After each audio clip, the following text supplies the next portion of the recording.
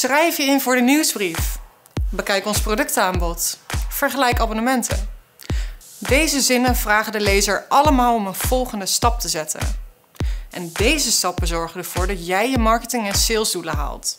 Maar werken deze zinnen wel zo goed?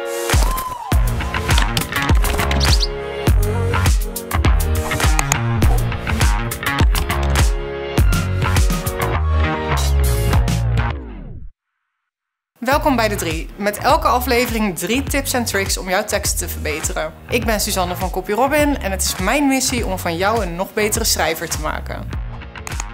Jouw lezer overtuigen om de volgende stap te nemen. Dat is in de praktijk best lastig, maar met deze tips gaat het je lukken. Tip 1. Schrijf een pakkende call to action. Daarmee spoor je de lezer aan om actie te ondernemen. Zo'n call to action kan het verschil betekenen tussen jou of de concurrent. En dat wil je dus echt goed aanpakken. Laat je bezoeker zien hoe makkelijk de actie is.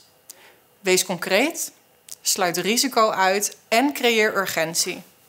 Bijvoorbeeld, probeer nu 30 dagen gratis. Maar let op, zolang de voorraad strekt. Tip 2. Doe een belofte of bied waarde achter de klik. Vertel wat jouw lezer krijgt als deze jouw actie uitvoert.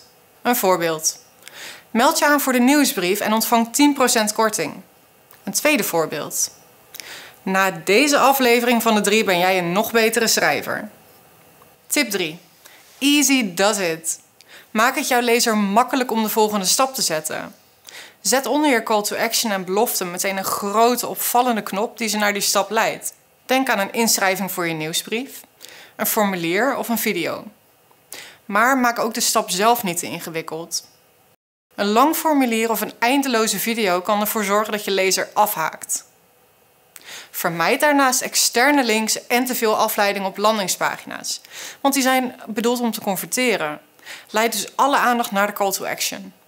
Deze drie tips om jouw lezer de volgende stap te laten zetten heb je in de pocket. Ik zet ze nog één keer voor je op een rijtje. Tip 1 is het schrijven van een pakkende call to action. Tip 2 is het maken van een duidelijke belofte aan de lezer. En tip 3, maak het jouw lezer zo makkelijk mogelijk. Dat waren de drie van deze keer. Nu jij. Overtuig jouw lezer om de volgende stap te zetten en just hit publish. Elke dag kun je een betere versie van jezelf worden. Waarom niet ook een betere schrijver?